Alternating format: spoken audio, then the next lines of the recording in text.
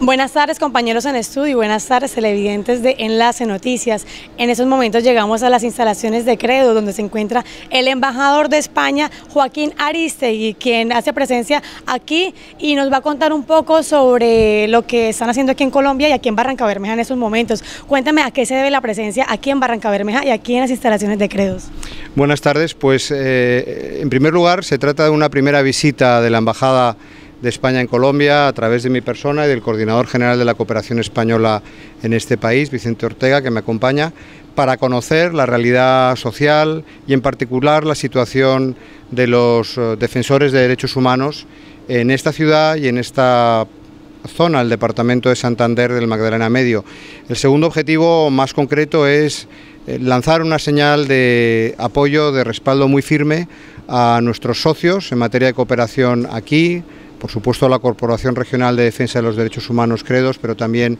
a IAP, Acción Internacional para la Paz, con quien la cooperación española trabaja muy estrechamente, y PBI, las Brigadas Internacionales para la Paz, porque consideramos no solamente que se les tiene que otorgar la visibilidad que merecen, sino además el Gobierno de España a través de su embajada en Colombia quiere dejar claro que se hace un seguimiento muy concreto, muy preciso, eh, para que puedan desarrollar su labor en las condiciones de seguridad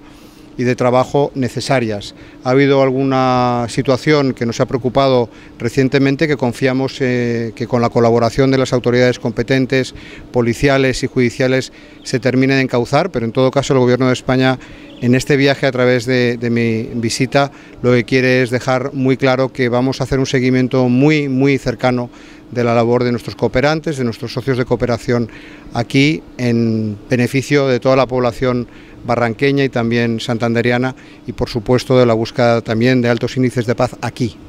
¿Hacia dónde se dirigen ahora que salen de aquí de Credos?